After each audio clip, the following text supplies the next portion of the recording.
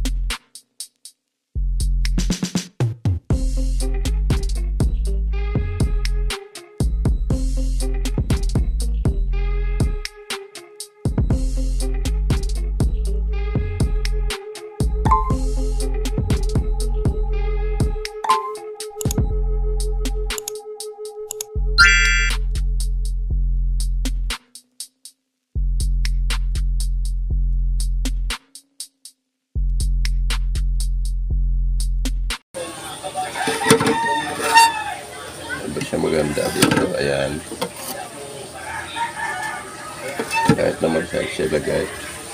For more videos, don't forget to like and subscribe my channel and watch my next episode.